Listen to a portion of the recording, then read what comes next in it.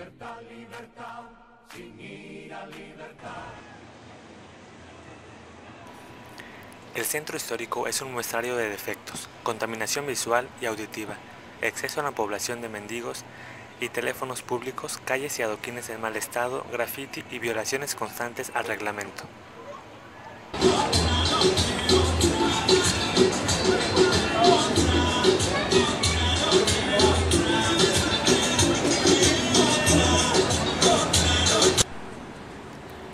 Representante de los comerciantes del centro histórico, Enrique Arrieta, señaló que por seis años ha luchado para mantener una imagen adecuada del primer plano de la ciudad, pero todo se pasa en el reglamento del centro histórico por encima sin que las autoridades municipales hagan algo al respecto. Si te fijas, pues está en abandono la parte superior del edificio.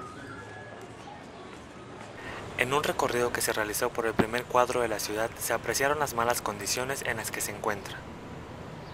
Hay un exceso de contaminación visual y se obstruye con frecuencia el paso en la vía pública, lo que Enrique Arrieta Orozco consideró impropio de una zona representativa de la ciudad. una explicación de por qué no se cumple con ni con los anuncios ni con Ah, por desinterés de pasadas administraciones. Según lo que nos ha externado la autoridad para este trienio, sí tienen toda la disposición de regular el centro histórico con un plan de rescate y de revitalización. La situación de la mendicidad en la zona centro se salió de control.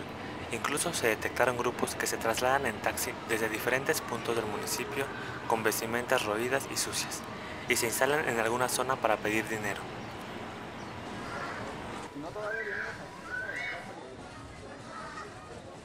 Fíjate cómo está el cableado.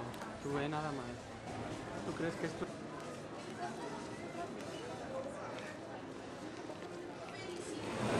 No sé.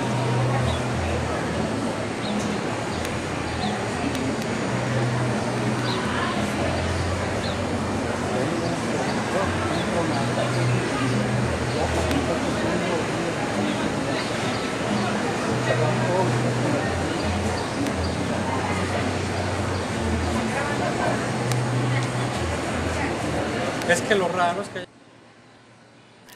Los muros de cantera son rayados con nombres de bandas y en la calle Independencia existe una barda de un estacionamiento público con al menos 50 metros cubiertos de pintas.